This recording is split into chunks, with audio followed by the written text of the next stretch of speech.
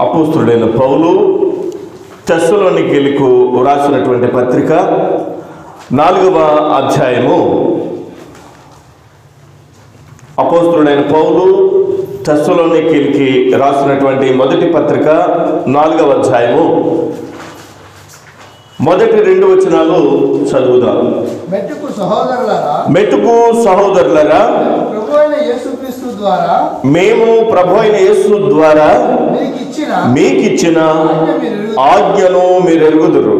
కాగా మీరెలాగు నడుచుకుని దేవుని సంతోషపరచ దేవుని సంతోషపరచవలెనో మా వలన నేర్చుకుని ప్రకారముగా మీరు నడుచుకొనుచున్నారు. విషయంలో ఈ విషయములో మీరు అంతకంతకు అభివృద్ధి నొందవలెనని మిమ్మును వేడుకుని ప్రభువైన యేసునందు హెచ్చరించుచున్నాము అని చెప్పి వ్రాయబడినటువంటి మాట మనం చదువుకున్నాం. అపోస్తుడైనటువంటి పౌలు వ్రాసినటువంటి పత్రికలలో తెస్సలోనికీలకు రెండు పత్రికలు రాయడం జరిగింది. ఈ తెస్సలోని ప్రాంతంలో నివసించేటువంటి ఈ ప్రాంత ప్రజలకు సంఘ ప్రజలకు వ్రాసినటువంటి మొట్టమొదటి పత్రికలో నాలుగవ అధ్యాయం మొదటి వచనం చదువుకున్నాను.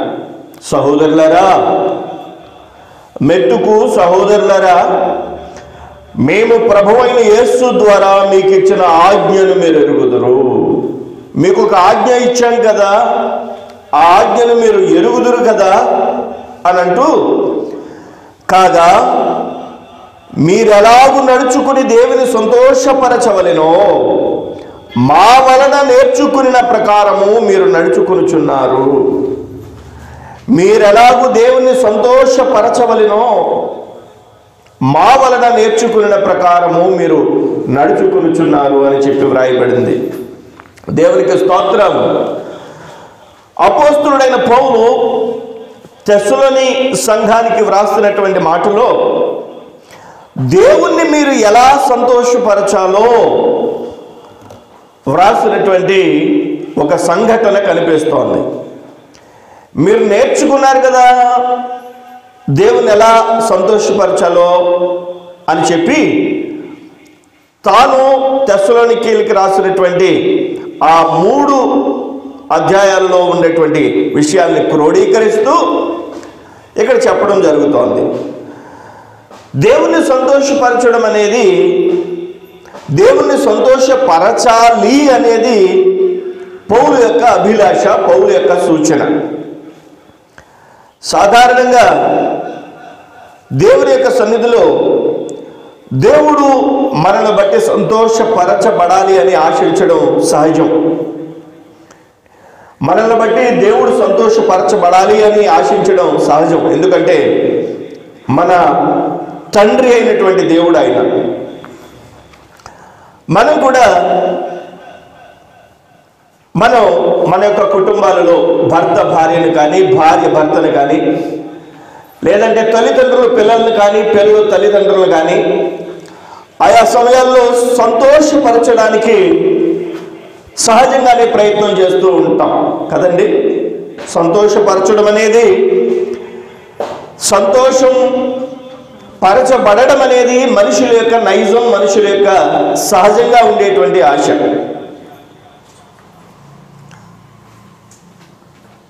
నా మట్టుకు నేను మీ మట్టుకు మీరు. అట్లీస్ట్ మన కుటుంబ సభ్యులనైనా సంతోషపరచడానికి ఇష్టపడుతూ ఉంటాం. కదండి?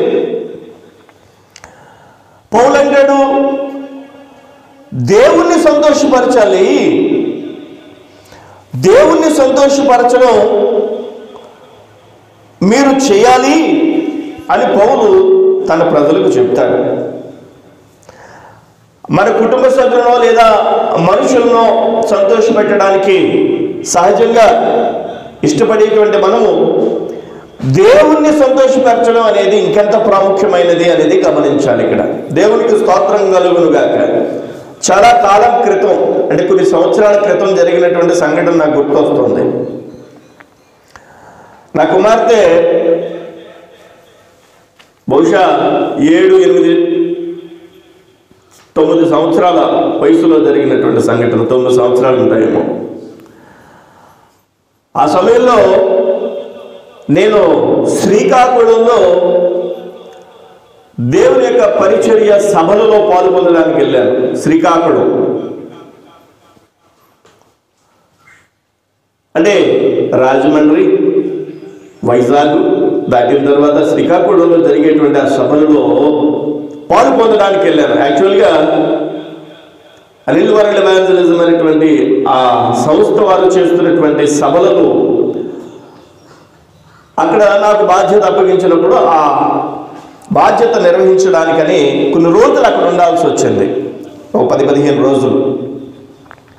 ఆ సభలు నిర్వహించడం ముందు ఏర్పాటు చేయడం కోసం. సరే ఈ లోపల నా కుమార్తె పుట్టినరోజు వచ్చింది. తనకి ఎన్ని సంవత్సరాలు? తొమ్మిది సంవత్సరాలు. ఇంచుమించుగా గుర్తులేదు. నేను ఆ పుట్టినరోజుకి తనకి ఏం చేయాలా ఎలా చేయాలా తన దగ్గరికి వెళ్ళాలి అని చెప్పి ఆ ముందు రెండు రోజుల నుంచి ఆలోచన. కానీ భోజనం చేయడానికి కూడా అవకాశం లేని తీరిక లేనటువంటి పరిస్థితులు అక్కడ. సరే నేనున్న చోటికి చాలా దూరాన చాలా దూరాన షాపింగ్ ఉంది. కానీ నేను రేపు పుట్టినరోజు అనగా ఆ రోజు సాయంత్రం కాలేసుకుని వేసుకుని నేనున్న చోట నుంచి పని కట్టుకుని ఇక షాపులు కట్టేసే టైంకి వెళ్ళి ఒక తెల్లని నాకు నచ్చిన అందమైన ఫ్రాక్ కొన్నాను. నాకు బాగా గుర్తు. చాలా ఖరీదు. అక్కడ ఉన్నటువంటి ఫ్రాక్స్ అన్నిటిలోని చాలా ఖరీదు. ఆ ఫ్రాక్ను కొని ఆ రాత్రి అక్కడ నుండి కారు వేసుకుని నేను వందల కిలోమీటర్ల ప్రయాణం చేసి ఎర్రనగూడ వచ్చాను. వచ్చి తనకి వచ్చేసరికి తెల్ల అంటే తన పుట్టినరోజు వచ్చేసింది. తెల్లవారుజాము తెల్లారిపోతుంది నేను వచ్చి తనకి తను రెడీ అయిన తర్వాత ఆ ఫ్రాక్లో తను చూసి తన తల మీద చేయి పెట్టి ప్రార్థన చేసిన తర్వాత నాకు సంతోషం అనిపించింది. ఆ ఫ్రాక్ వేసిన తర్వాత తన ముఖంలో ఆ సంతోషం చూడడం కోసం వందల కిలోమీటర్ల ప్రయాణం చేసి వచ్చాను. ఒక గంట కాబోలు ఇంటి దగ్గర ఉన్నాను. మరలా వెళ్ళిపోయారు. కేవలం ఆ సంతోషం చూడటం కోసం నా బడలిక గుర్తు రాలేదు నా అలసట గుర్తు రాలేదు అన్ని వందల కిలోమీటర్ల ప్రయాణం అన్నది గుర్తు రాలేదు అంత ఖరీదైనటువంటి ఫ్రాగ్ అనేది గుర్తు రాలేదు ఇవేమీ గుర్తు రాలేదు. సంతోషం చూడాలి. దేవునికి స్తోత్రం. నిజమే మనిషికి మానవునికి ఉండేటువంటి సహజమైనటువంటి లక్షణం ఏంటంటే సంతోషపరచడం. సంతోషపరచడం అనేటువంటి ఒక భావన మనిషికి సహజంగా ఉంటుంది. మన వారిని సంతోషపరచాలి. దేవుని వాక్యం ఏం చెప్తుందంటే ఇక్కడ తెస్సులోనికలకు రాస్తూ అంటున్నాడు మీరు దేవుణ్ణి సంతోషపరచాలి. దేవుణ్ణి సంతోషపరచవలెను. అనేటువంటి మాట మీరు నేర్చుకున్నారు ఆ ప్రకారంగానే నడుచుకుంటున్నారు. ఆ సంతోషపరిచే విషయంలో మీరు అభివృద్ధి పొందాలి అని పౌలు అంటాడు. దేవునికి స్తోత్రం కలుగును గాక అయితే మనం ఏమి చేస్తే దేవుడు సంతోషపడతాడు? ఈరోజు కొద్ది నిమిషాలు మనం ధ్యానం చేద్దాం. దేవునికి స్తోత్రం. నా కుమార్తె అయితే ఆ ఫ్రాక్ చూడగానే ఇక మెల్ట్ అయిపోయింది. సంతోషపడిపోయింది. ఆ సంతోషాన్ని చూసి నేను మెల్ట్ అయిపోయాను. మరి దేవుణ్ణి సంతోషపరచాలంటే ఏం చేస్తాం? ఏం చేస్తే మానవుడు ఏం చేస్తే దేవుడు సంతోషపడతాడు? దేవుడు సంతోషపడతారా? దేవుడు మానవుని యొక్క ఏ పనిని బట్టి సంతోషపరచబడతాడు అని అడిగితే దేవుని వాక్యంలో చాలా స్పష్టంగా వ్రాయబడినటువంటి కొన్ని విషయాల్ని మనం పరిశీలన చేయాలి.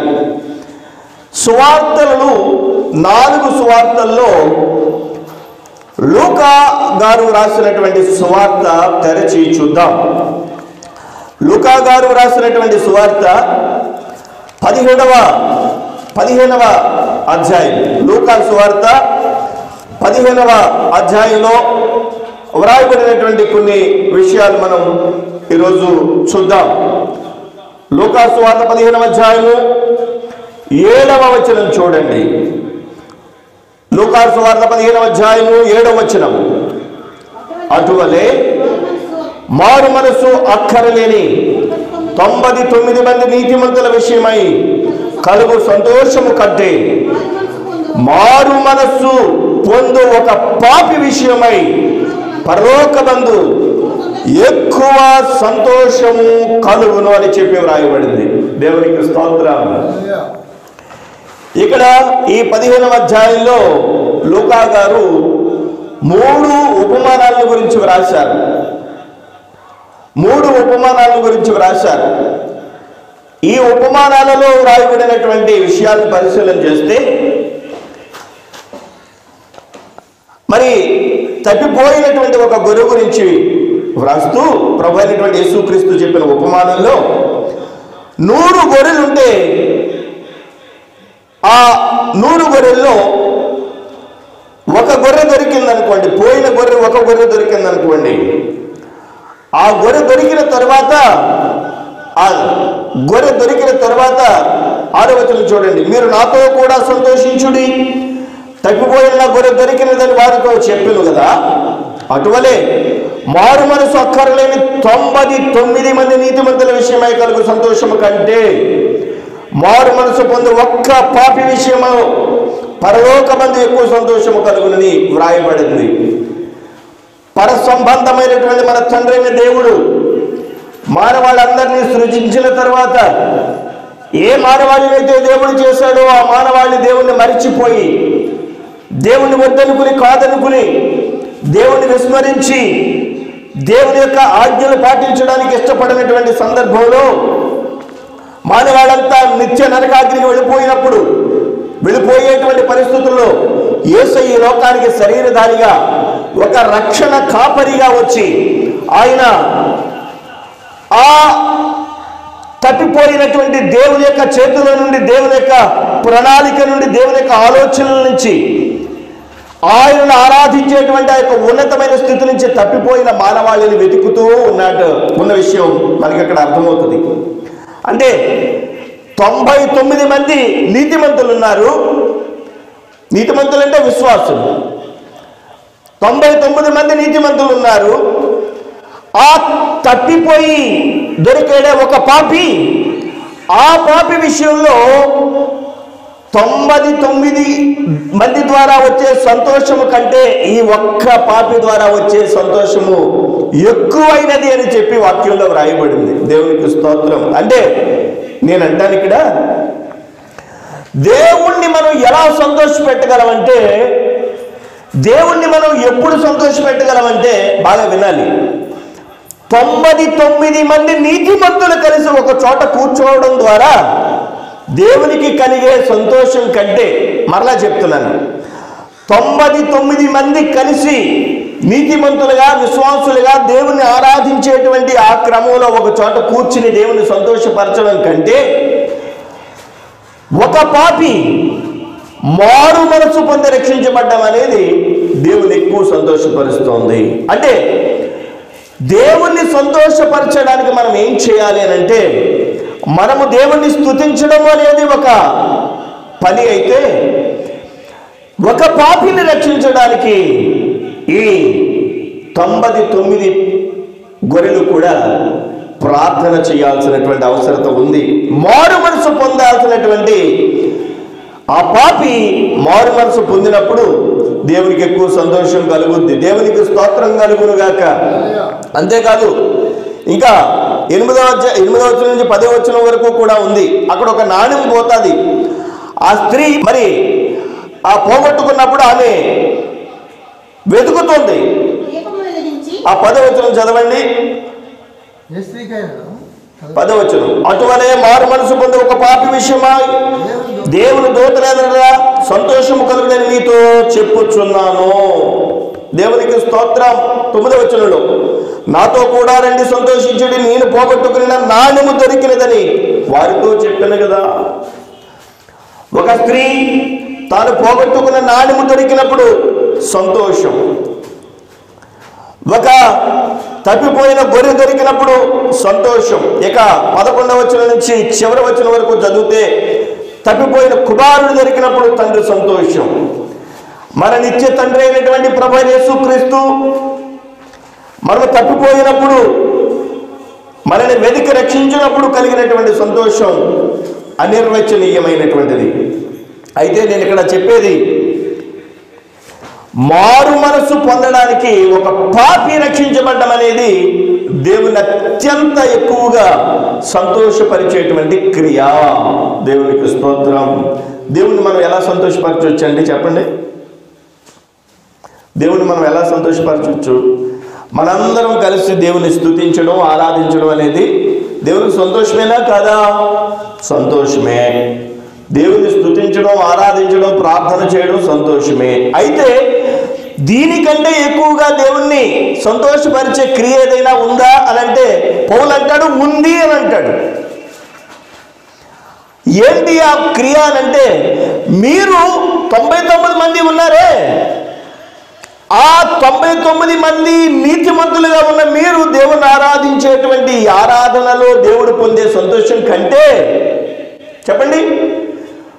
ఒక పాపి మారు మనసు పొందిన అనుభవం ఒక తప్పిపోయిన నాణం దొరికిన అనుభవం తప్పిపోయిన కుమారుడు తండ్రిని చేరిన అనుభవం ఇది సంతోషం కలిగిస్తుందని అంటాడు. దేవునికి స్తోత్రం కలుగును గాక. హల్లెలూయా. ఈరోజు దేవుని యొక్క సన్నిధిలో ఆయనను సంతోషపరచడానికి ఇప్పుడు మనం ఏం చేయాలంటే ఒక క్లూ దొరికింది. దేవునికి స్తోత్రం.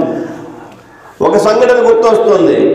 మా తాతయ్య గారు school headmaster government school headmaster మా తాతయ్య గారు ఆయా చోట్ల మరి రెండు మూడు రోజులు వెళ్ళడానికి ఆ ప్రయాణంలో వెళ్ళేవారు.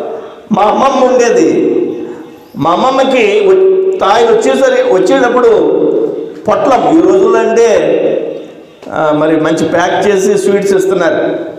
మరి నా చిన్నప్పుడు ఇలా పొట్లం మిఠాయి పొట్లం అని కోన్ ఆకారంలో కోన్ ఆకారంలో అది తెచ్చేవారు. మా తాతయ్య గారి యొక్క లక్- ఆయనకున్న అలవాటు ఏంటంటే మేము ఎంతమంది అయితే మనములు ఉన్నామో అన్ని పొట్లాలు తెచ్చేవారు. మా అమ్మమ్మకి పెద్ద పొట్లం తెచ్చేవారు. ఎప్పుడైతే ఆ పొట్లం చూడగానే మా అమ్మమ్మ కోపం అంతా మర్చిపోయేది. క్లూ దొరికింది మా తాతయ్య గారికి. దేవునికి స్తోత్రం. ఇప్పుడు మనము మన దేవుణ్ణి సంతోషపరచడానికి చెప్పండి చెప్పండి. ఒక క్లూ దొరికింది దేవునికి స్తోత్రం. అది ఏంటంటే ఒక పాపిని మారు మనస్సు పొందే దానికి ప్రభు పాదాల దగ్గర నిలబెట్టడం అనేది దేవునికి స్తోత్రం కలుగును గాక హల్లెలూయా. ఒక పాపి రక్షించబడ్డం ఒక దేవుని తెలియనటువంటి వారు ప్రభు ద్వారా రక్షించబడ్డం వారి సన్నిధి దేవుని యొక్క సన్నిధిలో నిలబడడం అనేది దేవునికి అత్యంత సంతోషం కలిగించేటువంటి గొప్ప అవకాశం. దేవునికి స్తోత్రం. నేనేమంటానంటే నేనేమంటానంటే ప్రభువా నీ సన్నిధిలో నిత్య నరకాగ్నికి వెళ్ళిపోయేటువంటి ప్రజలు నీ సన్నిధిలో రక్షించబడ్డానికి నీ కృపలో రక్షించబడ్డానికి నీ ఆత్మ చేత ముద్రించబడ్డానికి నీ రాజ్యానికి హక్కుదారులుగా మార్చబడ్డానికి మారు మనస్సు అనుభవంలో రావడానికి. చెప్పండి. నేను ఆ పని నిర్వహించడానికి నేనున్నాను ప్రభా అని చెప్పడం దేవునికి స్తోత్రం. అంటే దాని అర్థం ఏంటంటే వెతికే పని దేవునికి స్తోత్రం. నాణ్యం వెతికే పని. నాణ్యం వెతికినప్పుడు ఏం చేస్తాం? నాణ్యం వెతికినప్పుడు ఏం చేస్తాం? మొత్తం లైటు వేసి చెప్పండి చీపురు తీసుకుని మంచం క్రింద మొత్తం మూల మూలల్లో వెతికి దాన్ని వెదికి పట్టుకోవడం అంటారు దాన్ని. దేవునికి స్తోత్రం కలుగును కాక చెప్పండి వెదకి పట్టుకోవడం.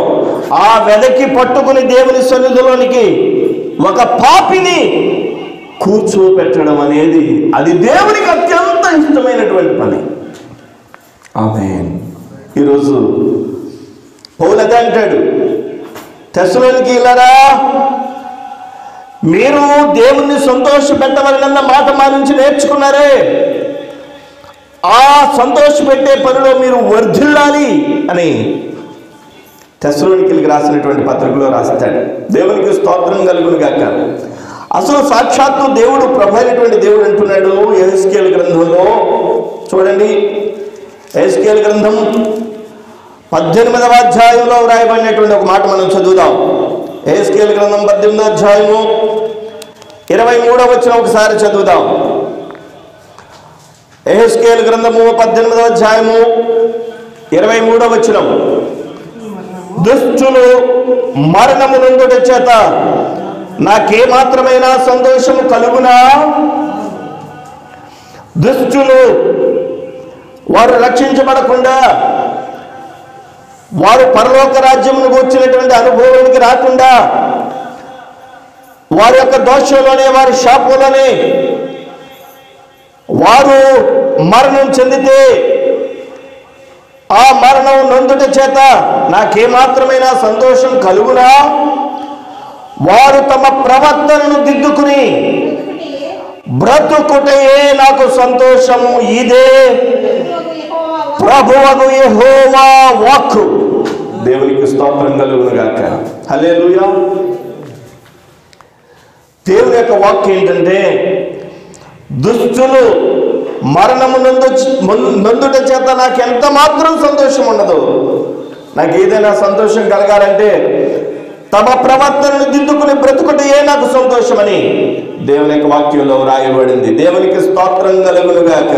అంటే దేవుని యొక్క సన్నిధానంలో ప్రభుని ఇరుగనటువంటి ప్రభు అంటే తెలియనటువంటి ప్రభు ప్రేమను రుచి చూడనటువంటి ప్రభు యొక్క శిలువ విమోచనలో ఉండేటువంటి ఆ రక్తంలో ఉండేటువంటి ఆ యొక్క ఔన్నత్యం ఎరుగనటువంటి ఒక పాపికి దేవుడిచ్చేటువంటి విమోచనను చెప్పడం మన బాధ్యత. అదే కదా నాకు కలిగేటువంటి సంతోషం అని అంటాడు. వారు తమ ప్రవర్తనను దిద్దుకుని బ్రతుకుటయే నాకు సంతోషం అని అంటాడు. దేవునికి స్తోత్రం కలుగును గాక. మనం ఈరోజు దేవుని సన్నిధిలో కూర్చోవడం అనేది దేవుడు మనకి ఇచ్చినటువంటి గొప్ప భాగ్యం. గొప్ప భాగ్యం ఇది. నిజంగానే మనకు ప్రభు ఇచ్చినటువంటి గొప్ప సంతోషం ఇది.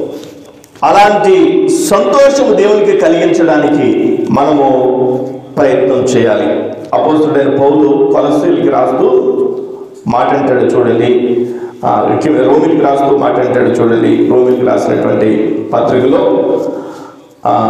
పన్నెండవ అధ్యాయము అపోస్తుడైన పౌలు రోమిలికి రాసినటువంటి పత్రిక పన్నెండవ అధ్యాయము రెండవ వచనం చూడండి. ఈ లోక మర్యాదను అనుసరింపక. ఈ లోక మర్యాదను అనుసరింపక.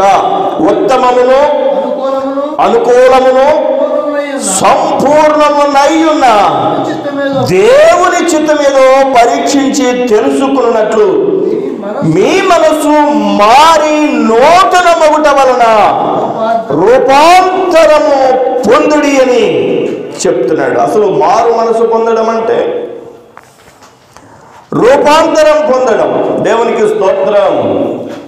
రూపాంతరం పొందడం. గొంగల పురిగి మనుషులందరి చేత చేత్కారం చేయబడేటువంటి ఒక అసహ్యమైన పురుగు. కదండి?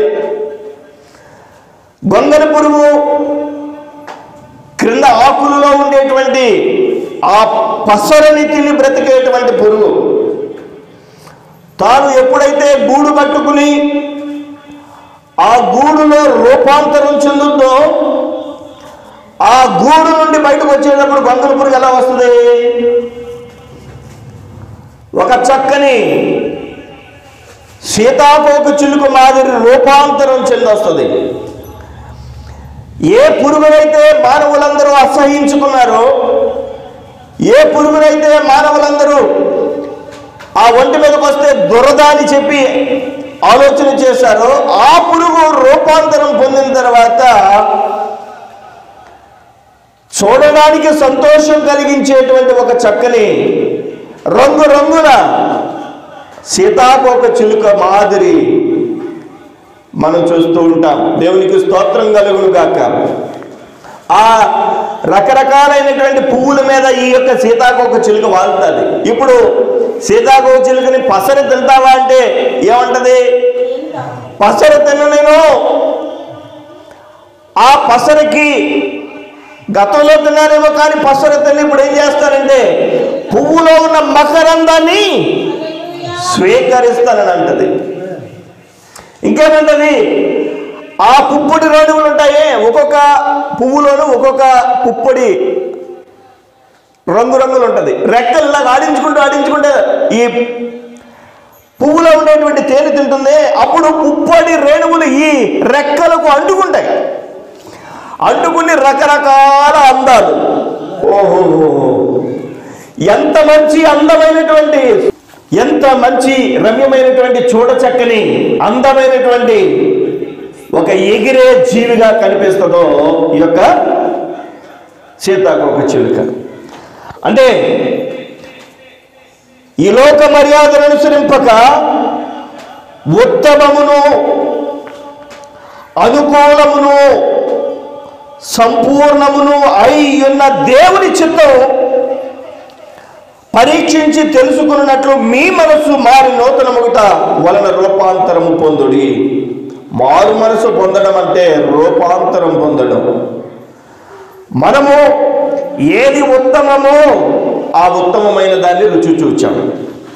అయితే ఉత్తమమైన దానిని రుచి చూడాల్సినటువంటి ప్రజలకు మనం ఏం చేయాలి? రుచి చూచి ఎరిగి తిని యెహోవా ఉత్తముడని రుచి చూచి ఎరిగాం మనం మరి రుచి చూచి ఎరగడ ఎరగాలి కదా ప్రజలు వాళ్ళకి మనం రుచి చూపించాలి కదా. అనుకూలమును సంపూర్ణమును అయ్యున్నది అయ్యున్న పని ఏంటంటే మారు మనస్సు పొందడం దేవునికి స్తోత్రం. మారు మనసు నేను పొందానండి నేను నిన్ను స్తుతిస్తున్నాను. మారు మనస్సు పొందిన మేము తొంభై తొమ్మిది మంది నీతిమంతులుగా కూర్చున్నామండి. దేవుడు అంటున్నాడు ఈరోజు మిమ్మల్ని బట్టి నాకు సంతోషమే కానీ మరీ ఎక్కువ సంతోషం ఎలా కలుగుద్దంటే ఒక పాపి ఒక పాపి రక్షించబడిన సమయంలో మీ అందరూ పొందిన స- మీ అందరి ద్వారా పొందే సంతోషం కంటే ఆ సంతోషం ఎక్కువ. మరి మన అందరం ఒక పాపిని ఒక పాపిని దేవుని సన్నిధికి మందిరానికి నడిపించడానికి మనం ఏం చేయాలంటే ప్రార్థన చేయాలి ప్రయత్నం చేయాలి. దేవునికి స్తోత్రం కలుగును గాక అపోస్తుడైనటువంటి పౌలు కొలసీలకు రాసినటువంటి పత్రిక చూద్దాం ఒకసారి. అపోస్తుడైన పౌలు కొలసీలకు రాసినటువంటి పత్రిక మూడవ అధ్యాయము ఇరవై రెండవ వచనం. దాసులారా కొలస్సీలకు రాసినటువంటి పత్రిక అపోస్తుడైన పౌలు కొలస్సీలకు రాసిన పత్రిక మూడవ అధ్యాయము ఇరవై రెండవ వచనం. దాసులారా మనుష్యులను సంతోషపెట్టేవారైనట్టు కంటికి కనబడవలనని కాక ప్రభువునకు భయపడుచు శుద్ధాంతఃకరణ గలవారై శరీరం బట్టి మీ యజమానులైన వారికి అన్ని విషయంలో అన్ని విషయంలో విధేయులై ఎండుడి దేవునికి స్తోత్రం. హలెలూయ దేవుని సంతోషపెట్టేటువంటి క్రమం. పద్దెనిమిదవ వచ్చిన నుంచి క్రిందకి చదివితే ఆ యొక్క మరి లోబడడం గురించి వ్రాయబడింది. భార్యలారా మీ భర్తలకు విధేయులయ్యుండి ప్రభువుని బట్టి యుక్తమైంది. పంతొమ్మిదవ వచ్చిన భర్తలారా మీ భార్యలను ప్రేమించుడి వారిని నిష్ఠూర పెట్టకుడి. ఇరవై వచ్చిన పిల్లలారా అన్ని విషయంలో మీ తల్లిదండ్రుల మాట వినుడి. ఇది ప్రభువుని బట్టి మెచ్చుకునదగినది. తండ్రులారా మీ పిల్లల మనసు కురుంగునట్లు వారి కోపం పుట్టింపకుడి. దాసులారా మనుషులను సంతోషపెట్టేవారైనట్టు కంటికి కనబడవాలని కాక ప్రభువునకు భయపడుచు ప్రభువునకు భయపడడం అనేది దేవుణ్ణి సంతోష పెట్టడం అనేటువంటి మాట. దేవునికి స్తోత్రం కలుగును గాక హలలోయ అంటే ఒక మందిరంలో ఆలయంలో ఇద్దరున్నారు ప్రార్థన చేస్తున్నారు. ఒకరు పరిసయుడు రె- రెండవరు చెప్పండి సుంకరి. పరిసయుడు ప్రార్థన చేస్తున్నాడు సుంకరి ప్రార్థన చేస్తున్నాడు.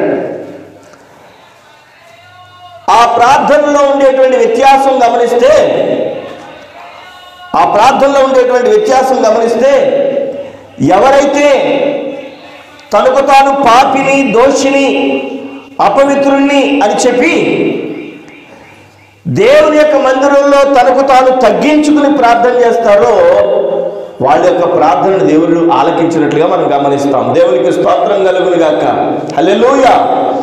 దూరమని నిలబడి ప్రభువా నేను పాపిని దోషిని అని అంటున్నటువంటి ప్రార్థన ఆలకించాడు దేవుడు. ఇక ప్రభువా నేను పాపం చేయడం లేదు దోషం చేయడం లేదు నీతిగానే బ్రతుకుతున్నానని చెప్పి చేయబడినటువంటి ప్రార్థనను దేవుడు తృణీకరించాడు.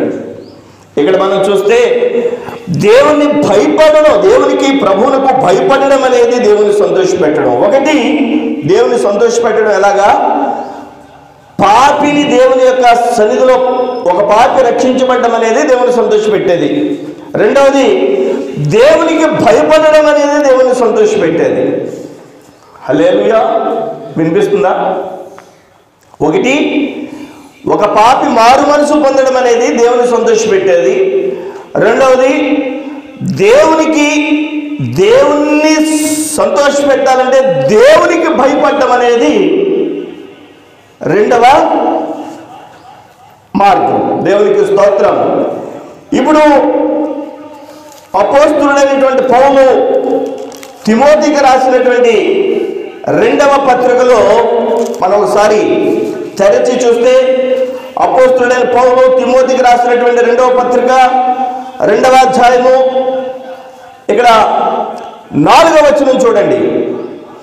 సైనికుడెవడును? యుద్ధమునకు యుద్ధమునకు పోవునప్పుడు తన్ను దండులో చేర్చుకుని వారిని సంతోషపెట్టవలనని ఈ జీవన వ్యాపారంలో చిక్కుకున్నాడు.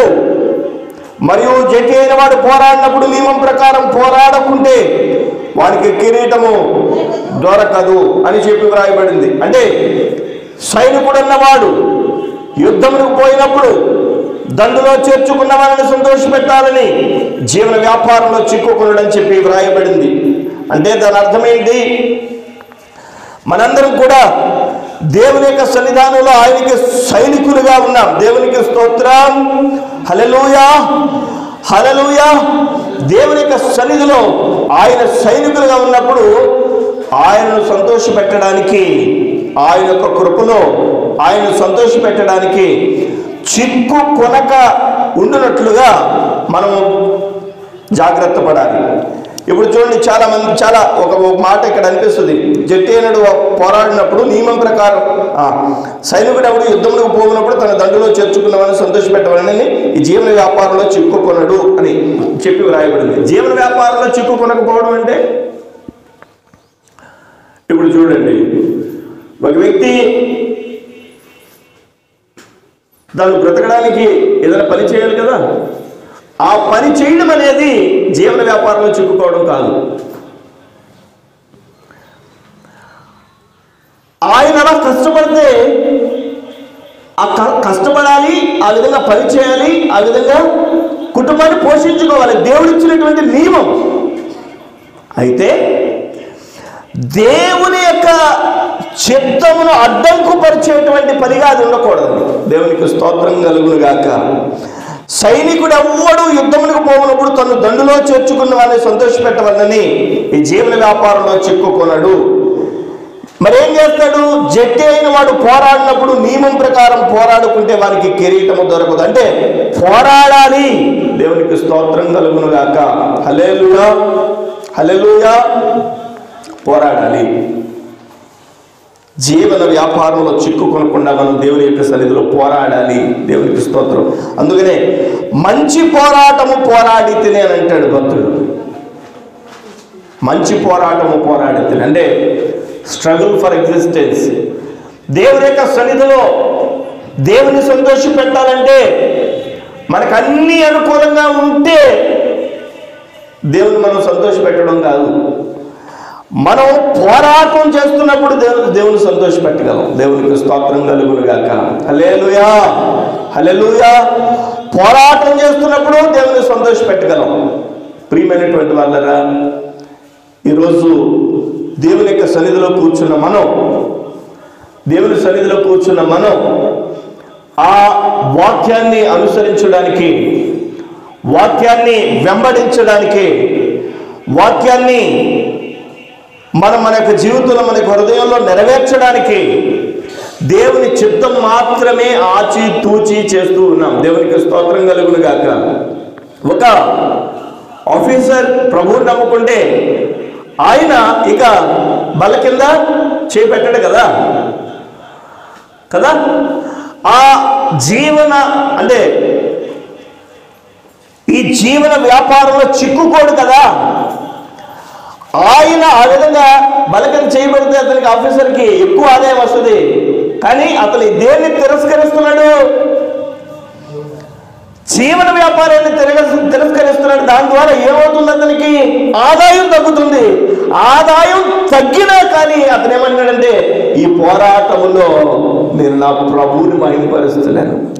దేవునికి స్తోత్రం. మనకు వచ్చిన కొద్దిపాటి ద్వారా కొద్దిపాటి మొత్తం ద్వారా సంతృప్తికరమైన సంతోషకరమైన జీవితాన్ని మనం జీవిస్తున్నాం. దేవునికి స్తోత్రం కలుగునుగాక అలేలుయా అలెలుయా ప్రియమైనటువంటి వాళ్ళరా అదే చెప్తున్నాడు ఇక్కడ. జీవన వ్యాపారంలో చిక్కుకోకుండా పోరాటం చేయండి అప్పుడు సంతోషపడతాడు దేవుడు. ఏ ఎన్ని విషయాలు చెప్పాను? మీకు మూడు విషయాలు చెప్పాను. గుర్తుందా? ఒకటి పాపి మారు మనసు పొందినప్పుడు దేవునికి సంతోషం. అంటే పాపి మారు మనసు పొందడానికి మనం ప్రయత్నం చేయాలి. రెండవదిగా మనం దేవునికి భయపడినప్పుడు దేవుడు సంతోషపెడతాడు. మనం దేవునికి భయపడాలి. మూడవదిగా మనము మన జీవిత యాత్రలో పోరాటము ఈ విశ్వాసం అనేది నమ్మాలి. అనుకూలంగా ఉండదు అనేది నమ్మాలి. పోరాటము మనము దేవుని సన్నిధిలో విశ్వాస పోరాటం కొనసాగిస్తున్నప్పుడు దేవుడు సంతోషపడతాడు అనేటువంటి విషయాన్ని మనం గ్రహించాలి.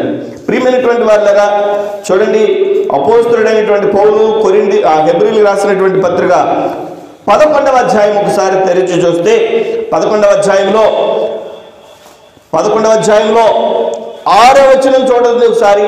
హెబ్రిల్ రాసిన పత్రిక పదకొండవ అధ్యాయము ఆరో వచనం. లేకుండా విశ్వాసము లేకుండా దేవునికి ఇష్టడై ఉండుట అసాధ్యము. చాలు. హెబ్రి రాసిన పత్రిక పదకొండవ అధ్యాయాన్ని విశ్వాసపు అధ్యాయం అని చెప్పి పిలుస్తూ ఉంటాం. విశ్వాస అధ్యాయం అని చెప్పి పిలిచి ఇక్కడ పెద్ద పట్టిక ఉంది. పెద్ద పట్టిక ఉంది. విశ్వాసుల యొక్క పట్టిక. దేవుణ్ణి సంతోషపరిచేటువంటి లిస్టు దేవుణ్ణి సంతోషపరిచినటువంటి భక్తుల లిస్టు ఉంది ఇక్కడ. అంతే కదా? ఈ లిస్టులో ఒక మాట మనం చదువుతాం విశ్వాసము లేకుండా దేవునికి ఇష్టడై ఉండుట. అంటే దేవుణ్ణి సంతోషపెట్టుట అన్నది అసాధ్యము. దేవుని సంతోష పెట్టాలంటే ఏం కల ఏముండాలి మనలో? భక్తి ఉండాలి దాన్నే విశ్వాసం అని అంటారు. దేవునికి స్తోత్రం. ఇప్పుడు చూడండి ఒక పడవ ఉందనుకోండి పడవ పడవ ఉంటుంది. కేరళలో ఎక్కువ పడవలో పోటీలు జరుగుతాయి. మీరు చూసారు ఎప్పుడన్నా? అది ఇంటర్నేషనల్ ఇంటర్నేషనల్ ఫెస్టివల్గా కూడా ఇంటర్నేషనల్గా అది చాలా ఆ- ఆకర్షణ పొందింది. కేరళలో పడవల పోటీలు జరుగుతాయి సంవత్సరానికి ఒకసారి. ఆ పడవల పోటీలు మనం చూస్తే ఆ పడవలో రెండు వైపులా రెండు తెడ్లు ఉంటాయి. మధ్యలో కూర్చున్నటువంటి వ్యక్తి ఏం చేస్తాడంటే రెండు తెడ్లని చెప్పండి ఇలాగా ఆ, మెడ్డుతూ ఉంటాడు పడవ మెడ్డడం అంటారు దాన్ని. ఎప్పుడైతే పడవని ఇలాగ అంటాడో ఈ యొక్క తెడ్లని ఎలా అంటాడో పడవ ఏం చేస్తుందంటే నీటిలో ముందుకు దూసుకుంటూ వెళ్ళిపోతుంది ఈ పడవల పోటీ ఆ విధంగా జరుగుద్ది. ఎవరు నెగ్గుతారో వాళ్ళకి ప్రైజ్ ఇస్తారు. ఇప్పుడు గమనించాలి బాగా. ఆ పడవలో ఉండేటువంటి రెండు తెడ్లలో ఒక తెడ్డిని ఒక ప్యాడిల్ని ఇలా తిప్పుతున్నాడు అనుకోండి. ఏమవుద్ది పడవ? ముందుకెళ్తుందా? ఏమవుద్ది చెప్పండి ఊహించండి. ఎడం చేతిలో ఉన్న ఆ తెడ్డుని ఇలా అన్నాడు అనుకోండి ఏమవుద్ది? రౌండ్గా తిరుగుద్ది. ముందుకెళ్ళదు అక్కడే తిరుగుద్ది. ఓకే ఎడం చేతిలో ఉన్న తెడ్డుని వదిలేసి కుడి చేతిలో ఉన్న తెడ్డుని మాత్రమే ఇలా కదుపుతున్నాడు అనుకోండి ఏమవుద్ది? అప్పుడు కూడా ఈ పడవ ముందుకెళ్ళదు కుడివైపుకు తిరుగుద్ది. అంటే భయము అన్నది మాత్రమే కలిగి ఉన్న భక్తి లేదా విశ్వాసం అనేది మాత్రమే కలిగి ఉన్న విశ్వాసి లేకపోతే రక్షణ రక్- రక్షణలో ఈ వ్యక్తి అభివృద్ధి పొందలేడు. అక్కడే తన యొక్క విశ్వాస జీవితాన్ని గడుపుతాడు అనేది గమనించాలి. దేవునికి స్తోత్రం.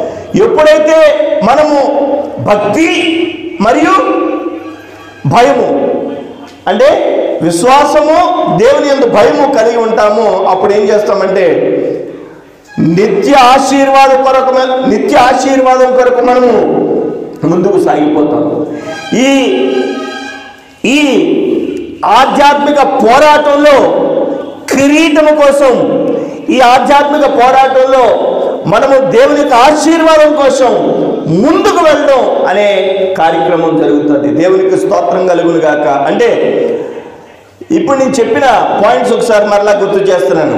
దేవుణ్ణి సంతోషపరచాలి దేవుని సంతోషపరచడానికి మనం ఏం చేయాలి? పాపి రక్షించబడినప్పుడు దేవుడు ఎక్కువ సంతోషపడతాడు. కాబట్టి ప్రభా నేను ఏదో రకంగా ఒక పాపిని నీ సన్నిధిలో కూర్చోపెట్టడానికి తద్వారా ఎక్కువ సంతోషంగా నిన్ను ఎక్కువ సంతోషపెట్టాలని నా ఆలోచన అది చేయడానికి సహాయం చేయి. నెంబర్ వన్ రెండవది నీకు భయపడినప్పుడు ప్రభా ఎక్కువ సంతోషం కలుగుతుంది. నీకు భయపడతాను తండ్రి. మూడవదిగా ఆయన యొక్క సన్నిధిలో ఏమని చెప్పుకున్నాం?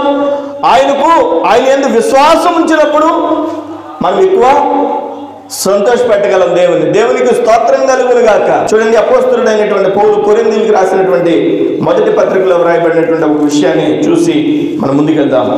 అపోస్తుడైన పౌలు కొరిందీలకు రాస్తున్నటువంటి మొదటి పత్రిక పదవ అధ్యాయము. పదవ అధ్యాయము ఐదవ వచనం ఒకసారి చదవండి. అయితే అయితే ఈ పదం బైబిల్ ఎప్పుడు కూడా బైబిల్ చదువుతున్నప్పుడు కొన్ని పదాలు వచ్చినప్పుడు మనం ఆగి ఆలోచించాలి. ఇలా వినాలి? కొన్ని పదాలు చదివినప్పుడు కాబట్టి అయితే అలాగైతే ఇదిగో కానీ ఈ పదాలు ఎప్పుడైతే కనిపించాయో మనం చాలా జాగ్రత్తగా బైబిల్ని ఆలోచించి చదవాలి. దేవునికి స్తోత్రం. ఏమంటున్నాడు ఇక్కడ? ఏమని చదువుతున్నాం ఇక్కడ? ఐదవ ఐదవ వచనంలో అయితే ఇదే ఏమైతే? ఏమైతే? అందరూ ఆత్మ సంబంధమైన ఒకే ఆహారమును భుజించిరి అందరూ ఆత్మ సంబంధమైన ఒకే పానీయమును పానము చేసిరి. ఏలయనగా తమ్మును వెంబడించిన ఆత్మ సంబంధమైన బండలోంది త్రాగిరి ఆ బండ క్రీస్తే అని చెప్పి వ్రాయబడింది. ఐగుప్త బానిసత్వం నుంచి విడిపించబడినటువంటి ఇజ్రాయలీలు వాగ్దాన దేశం చేరడానికి మధ్యలో వారి ప్రయాణంలో ఒకే బండలో నీళ్ళు తాగారు ఒకే ఆత్మ సంబంధమైనటువంటి ఆహారం తిన్నారు. కానీ వాళ్ళ జీవితంలో జరిగింది ఏంటో తెలుసు? అయితే వారిలో ఎక్కువ మంది దేవునికి ఇష్టలుగా ఉండకపోయేరి. అంటే దేవుణ్ణి సంతోషపెట్టువారు కాలేకపోయారు. అని చెప్పి వ్రాయబడింది. కనుక అరణ్యములో సంహరింపబడిరి. ఇప్పుడు చూడండి. ఐగుప్తీయులు ఇలా చూడండి ఐగుప్తీయులు వాగ్దాన దేశం వెళ్ళడానికి ఎంతమంది బయలుదేరారు?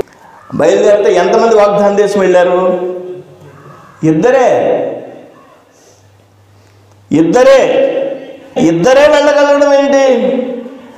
వీళ్ళందరూ ఆ ఇద్దరు తిన్నటువంటి మన్నారే తిన్నారు.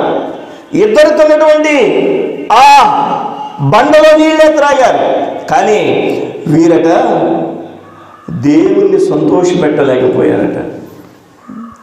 నేనంటాను ప్రభువా నిన్ను సంతోషపెట్టడానికి వాగ్దాన దేశం చేరడానికి నాకు సహాయం చేయి ప్రభా కనాను దేశం చేరాలంటే మనం ఏం చేయాలంటే ఆయన్ని సంతోషపెట్టువారిగా ఉండాలి. వీళ్ళు ఏం చేశారు? మిగిలిన వాళ్ళంతా సనుగుకున్నారు సనుగుకున్నారు దాహం అయిందనుకోండి మోసే మీద. శనిగారు ఇంకేమన్నారు? ఆహారం కోసం శనిగారు రోజు ఈ కీరకాయలు కాకరకాయలు బీరకాయలు ఇయ్యనండి. నాలుగంతా చచ్చిపోయింది. ఎక్కడి నుంచి తీసుకురాను రా బాబు నేను? ఎక్కడి నుంచి తీసుకొస్తా? మాంసం తిని ఎన్ని రోజులు అయింది ఎవరి మీద కోప్పడ్డారు? మోస మీద. శనిగారు వాళ్ళు చేదు నీళ్ళు వచ్చాయి అక్కడ శనిగారు. మధురమైనటువంటి నీటిగా మార్చాడు దేవుడు. సముద్రం వచ్చింది శనిగారు. ఏమండి? ఎక్కడ ఏ ఇబ్బంది వచ్చినా కానీ ఈ ఐగుప్త బానిసత్వం నుంచి విడిపించబడినటువంటి జనులు దేవుణ్ణి శనిగారు కానీ దేవుణ్ణి సంతోషపెట్టలేకపోయారు. ఈరోజు సార్వత్రిక సంఘముగా ప్రపంచంలో కూర్చున్న జన సమూహాలన్నీ దేవుని సంతోషపెడుతున్నాయా అని అంటే ప్రభు అంటున్నాడు. ఈ సార్వత్రిక సంఘములో జన సమూహముగా కూర్చున్న లక్షలాది మంది ప్రజల్లో నన్ను సంతోషపెట్టే వాళ్ళు ఎవరు? ప్రభా నేనున్నాను అని చెప్పగలగాలి. దేవునికి స్తోత్రం. హలేలుయా నేనున్నానని చెప్పగలగాలి. ఈ ప్రపంచంలో అన్ని ఖండాలలో ఉన్న అన్ని ప్రాంతాలలో ఉన్న అందరూ విశ్వాసులు కూడా దేవుని సంతోషపెట్టు వారిగా ఉండాలి. దేవునికి స్తోత్రం. అలేలుయా అలెలుయా ప్రియమైనటువంటి వాళ్ళని ముగింపులోనికి వస్తున్నాను. విశ్వాసం అనేది కలిగి ఉండాలి. అందుకనే వీళ్ళకి విశ్వాసం లేదు కాబట్టే విశ్వాసం లేదు కాబట్టే అరణ్యంలో రాలిపోయారట. నేను చెప్పాను గత వారంలో చెప్పానట్టుగా నాకు గుర్తు. వాగ్దాన దేశం ఐగుప్తు నుంచి వాగ్దాన దేశం వెళ్ళడానికి ఎన్ని రోజులండి? ప్రయాణం? లెవెన్ డేస్ పదకొండు రోజులు వెళ్ళిపోతారు. పదకొండు రోజులు వెళ్ళిపోతాడు. కానీ పదకొండు రోజుల్లో వెళ్ళగలిగినా కానీ ఆ మధ్యలో ఉండేటువంటి దేశపు రాజు యొక్క మనసు దేవుడు కఠినపరిచాడు. దట్ కుదరదు మీరు ఇటు రావడానికి కుదరదనంటే చుట్టూ తిరిగి వచ్చారు. ఈ చుట్టూ తిరిగి నలభై సంవత్సరాలు ప్రయాణం చేస్తేనే కానీ వాగ్దాన దేశం అందలేదు వాళ్ళకి. పదకొండు రోజుల ప్రయాణం ఎక్కడ? ఈ పదకొండు రోజుల ప్రయాణం కాదని నలభై సంవత్సరాల ప్రయాణం ఎక్కడ? నలభై సంవత్సరాల ప్రయాణం అంటే అరణ్య ప్రయాణం అంటే దాని అర్థం ఏంటంటే పరీక్ష సమయము అని చెప్పాను. దేవునికి స్తోత్రం. ప్రియమైనటువంటి వాళ్ళరా పరీక్ష ఉంటేనే కదా దేవుడు అంటే మనకి ఎంత ఇష్టం అన్నది తెలుస్తుంది. పరీక్ష ఉంటేనే కదా దేవుడు అంటే మనకి ఎంత ఇష్టం ఉన్నదని మనకు అర్థమవుద్ది.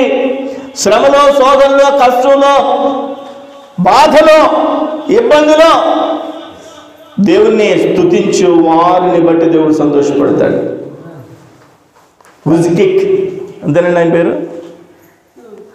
పిచ్కిక్ అనేటువంటి వ్యక్తి తెలుసు కదా? మొన్న మన ఆంధ్ర రాష్ట్రం వచ్చారు. ప్రపంచంలో అత్యంత బలమైనటువంటి దైవజనులు ఆయన కొడుకు. గారు ఆయనకి పుట్టినప్పుడే రెండు చేతులు లేవు. రెండు కాళ్ళు లేవు. మొండెం ఒకటే ఉంది తల ఉంది. ఊహించుకోండి. మనం కుడి చేయలేకపోతే భోజనం చేయలేం. రెండు చేతులు లేకపోతే దేన్ని పట్టుకోలేం? కాళ్ళు లేకపోతే నడవలేం. కాళ్ళిచ్చి చేతులిచ్చి చేతులు ఇచ్చి దేవుణ్ణి స్థుతించండి అంటే మానవాళి దేవుని స్తుతించడం లేదు కానీ విజుకుట్ గారు అన్నారు నా చేతులు లేకపోయినా కాళ్ళు లేకపోయినా పర్వాలేదు. నాకు దేవుడు కళ్ళు ఇచ్చాడు కదా నోరు ఇచ్చాడు కదా. చాలదా ఇది? దేవునికి స్తోత్రం. లేవుగా నా ప్రియమైనటువంటి వాళ్ళరా ఈరోజు దేవుని యొక్క సన్నిధానంలో ఆయనను సంతోషపెట్టే వారిగా ఉండడానికి ప్రభు సన్నిధిలో కోరుకుందాం. చూడండి మత్తయి వార్త తెరిచి ఒక చిన్న మాటను మనం చూసిన తర్వాత నేను ముగించేస్తాను. మత్తయి వార్తలో ఒక మూడు విషయాలు చూపించి నేను ముగించేస్తాను. మత్తయి వార్త ఆరు అధ్యాయము. మత్తయి వార్త ఆరు అధ్యాయము. మత్తయి వార్త ఆరు అధ్యాయము. దేవునికి స్తోత్రం కలుగును గాక ఎస్ మత్తయి వార్త ఆరవ అధ్యాయము ముప్పై వచ్చిన ఒకసారి చదవండి. నేనుండి రేపు పొయ్యిలో వేయబడు. ఉమ్, అడవి గడ్డిని దేవుడికి ఎలా- దేవుడు ఎలాగ అలంకరించిన ఉమ్. అల్ప విశ్వాసుల అల్ప విశ్వాసులారా. ఈ మాట ఎవరన్నారు? ఏసై అన్న మాట ఇది. అల్ప విశ్వాసులారా ఎనిమిదో అధ్యాయం. ఇరవై ఆరు వచ్చిన అందుకు ఆయన అల్ప విశ్వాసుల. అల్ప విశ్వాసులారా పద్నాలుగవ అధ్యాయం. ముప్పై ఒకటవ వచ్చిన పద్నాలుగవ అధ్యాయం ముప్పై ఒకటవ వచ్చిన అల్ప విశ్వాసి. అల్ప విశ్వాసి ఏసు అంటున్నాడు విశ్వాసం లేకుండా దేవునికి ఇష్టడై ఉండుట అసాధ్యమని చెప్పుకున్నాం కదా మనం? మేము విశ్వాసులమేనండి అని చెప్పుకుంటున్న మనకి ఈ మూడు మాటలు గుర్తు రావాలి. అల్ప విశ్వాసుల అంటే వాళ్ళు విశ్వాసులా కదా? కాకపోతే విశ్వాసం తక్కువ అల్ప విశ్వాసం అంటే. కదండి? అల్ప విశ్వాసులారా అల్ప విశ్వాసులారా అల్ప విశ్వాసి అని సంబోధించాడు యేసు. అంటే వారిలో విశ్వాసం ఉంది కానీ దేవుణ్ణి సంతోషపరిచేటంత విశ్వాసము లేకపోయింది. ఈరోజు ప్రభా నేను నిన్ను సంతోషపరుస్తాను. దేవునికి స్తోత్రం. నేను నిన్ను సంతోషపరుస్తాను ప్రభా. నా విశ్వాసమును బట్టి నువ్వు సంతోషపడేటట్లుగా నీ ఎడల నిన్ను విశ్వాసం కలిగి ఉంటాను. దేవునికి స్తోత్రం కలుగునుగాక. అలాంటి సంతోషపరిచేటువంటి విశ్వాసము దేవుళ్ళు మనం కలిగి ఉండడానికి ప్రభు సన్నిధిలో ఆశిద్దాం. నేను ముగించే ముందు మరొక మాట నేను చెప్పి నేను ముగించేస్తాను త్వరితగతిని చూడండి సమయంలో మొదటి గ్రంథం సమయంలో మొదటి గ్రంథం ఒకసారి చూడండి. సమయంలో మొదటి గ్రంథము ఆ, పదిహేనవ అధ్యాయం ఒకసారి తీయండి అధ్యాయము ఇరవై రెండవ వచ్చిన ఒకసారి చదువు. ఒకడు ఒకడు వలన దహన బలులను అర్పించుట వలన ఆయన సంతోషించునా? ఆలోచించుము. బలులు అర్పించుట కంటే ఆజ్ఞను గైకొనుటయు పొట్టేళ్ళ క్రొవ్వు అర్పించుట కంటే మాట వినుటయు శ్రేష్టము. సమూహలు అంటున్నాడు తాను సెలవిచ్చిన ఆజ్ఞను ఒకడు గైకొనుట వల్ల యెహోవా సంతోషించినట్లు. తాను సెలవిచ్చిన ఆజ్ఞను ఒకడు గైకొనుట వల్ల యహోవా సంతోషించినట్లు. ఒకడు దాన బలులను బలులను అర్పించడం వలన ఆయన సంతోషించున? దేవునికి స్తోత్రము ఆయన ఆజ్ఞను అనుసరించడం అనేది ఆయన సంతోషపెట్టడం. దేవునికి స్తోత్రం కలుగును గాక ఒక విషయం చెప్తాను. ఈ విషయం గుర్తు వచ్చినప్పుడల్లా భయమేస్తుంది. నేను ఎప్పుడు ప్రార్థన చేసుకుంటా ఉంటాను ప్రభా. ఒక్క ఆదివారం కూడా నిన్ను ఆరాధించకుండా నేను ఉండకూడదు. ఎందుకంటే విశ్రాంతి దినము? ఆయన ఇచ్చిన ఆజ్ఞ అది. దేవునికి స్తోత్రం. ఆ ఆజ్ఞ నేను నెరవేర్చాలి. ఆజ్ఞను పాటించడం వలన ఆయన సంతోషపెట్టవచ్చు దేవునికి స్తోత్రం. అలే మనము ఆయనను సంతోషపెట్టాలంటే ఏం చేయాలంటే చెప్పండి? ఆయన సన్నిధిలో ఆయన ఆజ్ఞను నెరవేర్చాలి. ఆయన ఆజ్ఞ ఏంటంటే నీవు నీ యొక్క ఆరు దినములు నీ యొక్క వ్యక్తిగతంగా నువ్వు కష్టపడి పనిచేసి నువ్వు కుటుంబాన్ని పోషించుకో కానీ ఒక్క దినం మాత్రం దేవుని సన్నిధిలో ఆయన్ని ఆరాధించాలి. అది ఆజ్ఞ ఆజ్ఞను పాటించడం అనేది ఆయనను సంతోషపెట్టడం. ప్రభు సన్నిధిలో మోకరించి ప్రార్థన చేద్దాం. ప్రభా మోకరించండి ప్రార్థన చేద్దాం. ఏసయ్యా నిన్ను సంతోషపరచడానికి నిన్ను సంతోషపెట్టేటువంటి జనాంగంగా ఉండడానికి తెసలోనికీలకు అపోస్తుడైన పౌలు రాసినటువంటి విషయాన్ని గుర్తు చేసుకున్నాను ప్రభా. నిన్ను సంతోష పెట్టాలి అని అంటే ప్రభా మా జీవితాల్లో నిన్ను సంతోష పెట్టాలి అని అంటే మారు మనసు పొందిన అనుభవానికి వచ్చి మారు మనస్సు పొందడానికి అనేక మందిని ప్రోత్సాహపరచాలి.